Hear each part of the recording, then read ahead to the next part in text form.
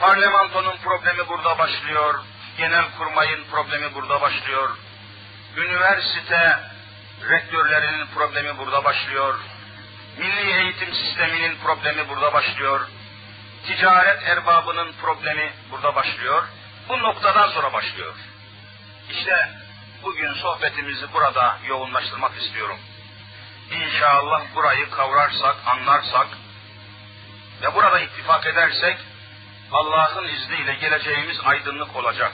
Burayı kavrayamazsak, bu noktayı anlayamazsak geleceğimiz karanlık demek. Allahu Teala Kur'an aydınlığından bizi ayırmasın inşallah.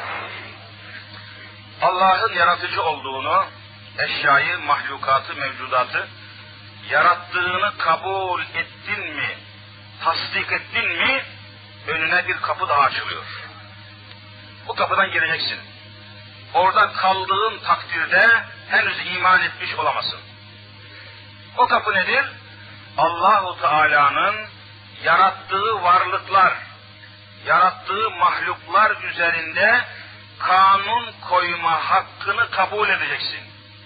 Allahu Teala kadınları yarattı mı? Yarattı. Aa, bunu tasdik ediyorsun.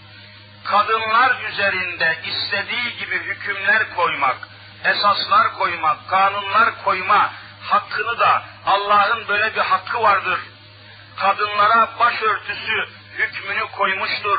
Tepeden tırnağa örtünme hükmünü koymuştur. Yabancı erkeklerle tokalaşamazsın demiştir. Allah demiştir, Allah koymuştur. Bu hükümlerin Allah tarafından koyduğunu kabul ediyor musun, etmiyor musun? Etmiyorsan Allah vardır, birdir.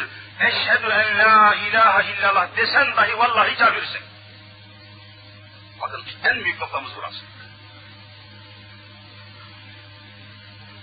Yarattığı varlıklar, mahluklar üzerinde Allahu Teala'nın koyduğu hükümlerin ve kanunların varlığını kabul edeceksin. Ve bu hükümlerin kıyamete kadar geçerli olduğunu kabul edeceksin. Adam kabul ediyor da geçerlik olarak kabul ediyor. Geçenlerde bir doçentle, üniversitede doçentlik yapan yani öğretim görevlisi birisiyle tartışıyoruz Beyazıt'ta bir kitapçıda. Efendim Allah'ın hükümlerini ben kabul ediyorum ama bu hükümler bugün geçersizdir diyor.